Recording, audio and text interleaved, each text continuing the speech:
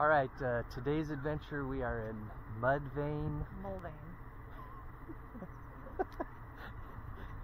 I think that's a band. Mulvane, Kansas.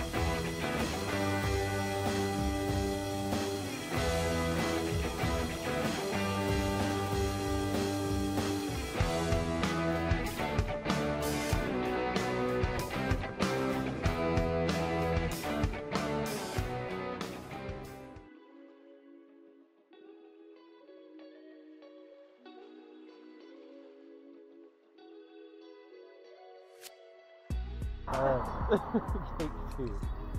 All right, for today's adventure, We are in Mulvane campus, Kansas. I was gonna say we're on the campus. Okay, take, take three. All right, for today's adventure, We are in Mulvane, Kansas. We're currently standing on the campus of Cowley College, the Mulvane campus. All right, it's a beautiful December day. We're walking east to west into the downtown. Enjoy.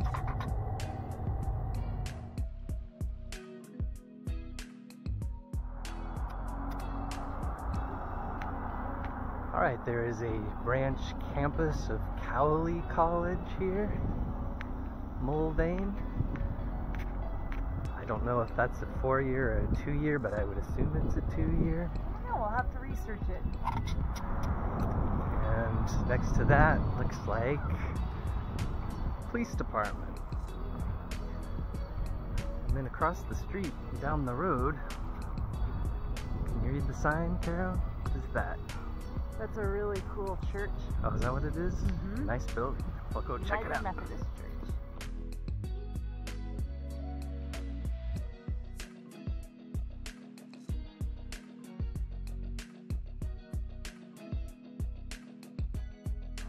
All right, this is Old Main Street Park, which is just a little east of downtown. And it looks like they have kind of a cool amphitheater. It's a cute park. Yeah. All right, not an amphitheater, just a stage. Uh, looks like I should bring my glasses next time. anyway, uh, Caroline, as always, why don't you tell us a little bit about this fair city? Mulvane was founded in the 1870s.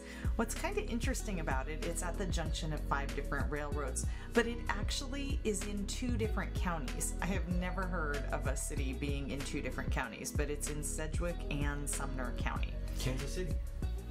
Half of it's not even in the same state. But it's a different city. So two different counties. But two different cities. Go ahead.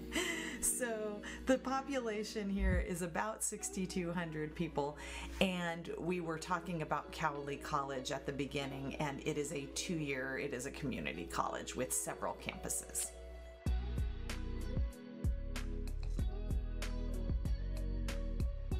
Little building straight ahead is Lori's Kitchen, as you can read, and that happened to be where we chose to have lunch. We had a couple burgers.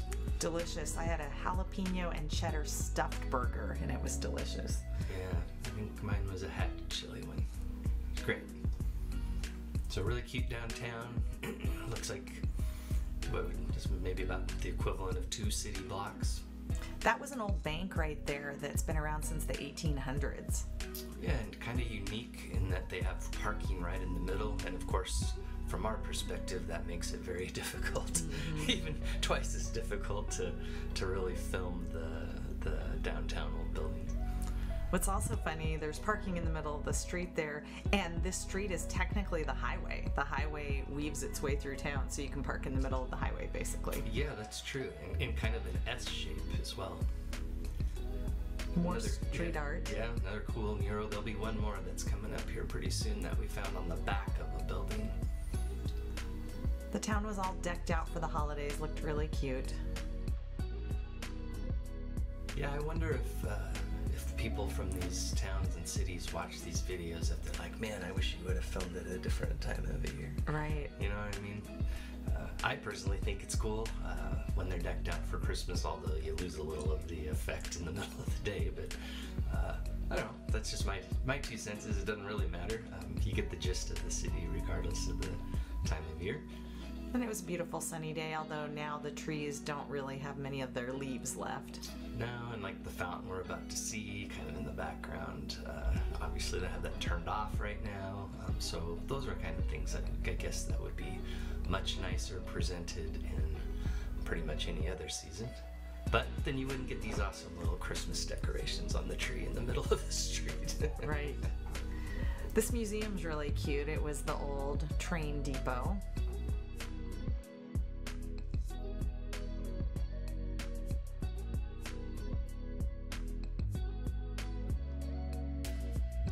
There's the grain elevator right near downtown. Yeah, every one of these little towns we visit has the grain elevator right next to the mm-hmm. downtown. That and the water tower. There's usually a water tower. This one had 2 mm-hmm. but neither were actually right in the downtown area.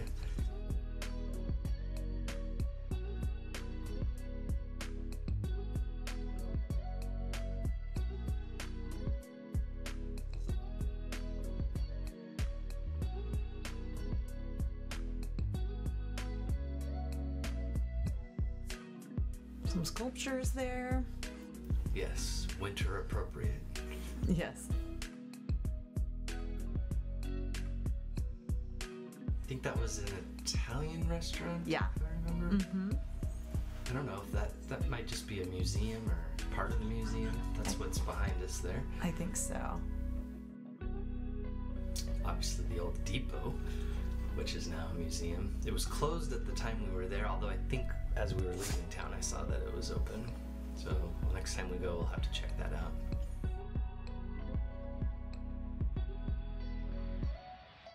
Another gorgeous December day. Um, what was it, the 8th, I think? filmed this. December 8th. We're there in the morning, but I think by the afternoon we were in the upper 50s, if not lower 60s. So mm-hmm. just really incredible fall we've had so far.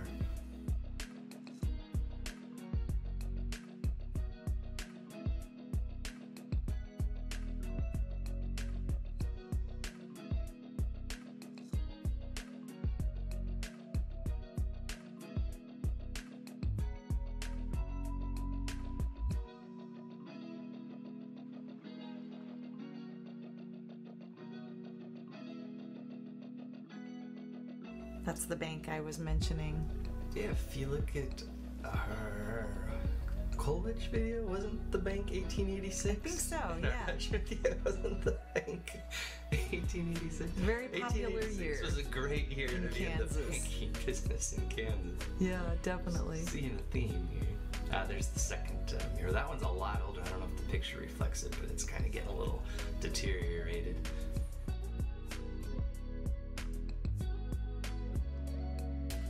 All right, then we took a little walk through the neighborhoods, and uh, we'll go ahead and wrap it up here with our our usual musings and final thoughts.